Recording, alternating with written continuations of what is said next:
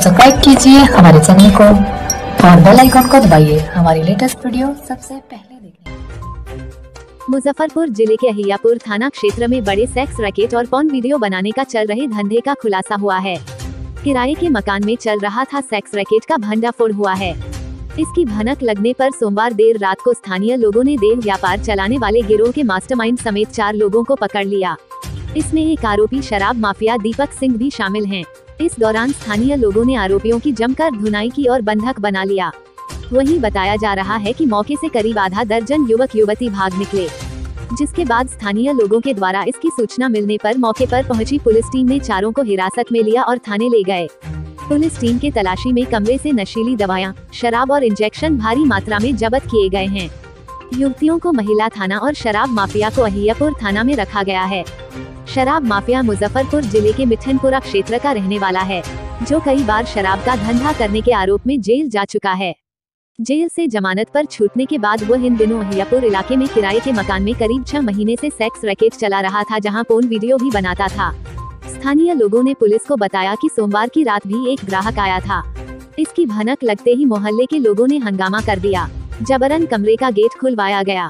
इस दौरान कई लोग वहाँ से भाग निकले, लेकिन वही स्थानीय लोगों ने दो युवती, एक नाबालिग युवती और एक शराब माफिया को पकड़ लिया। पूछताछ में पता लगा कि शराब माफिया ग्राहकों से ऑनलाइन पेमेंट करवाता था। इस दौरान वह चोरी छिपे फ़ोन वीडियो भी बनाता था। मोबाइल की जाँच में इसका पता लगा है। पुलिस आगे की कार्रवाई में जुटी हुई है। मुजफ्फरपुर जनता की आवाज़ के लिए राहुल रंजन की रिपोर्ट।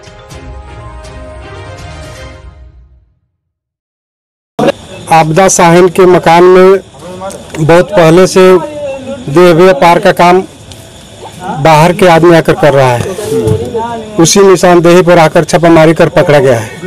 क्या क्या मिला रूम से? रूम से आपत्ति आपत्ति। कुछ आपत्तिजनक सामान मिला है। और?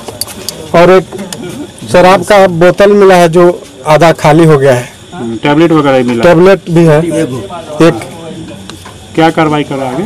आगे की कार्रवाई की जाएगी। लड़की से पूछताछ की है क्या बताइए? लड़की से पूछताछ थाना पर किया जाएगा यहाँ भीड़ काफ़ी है इसी के चलते। लोग पकड़ के है?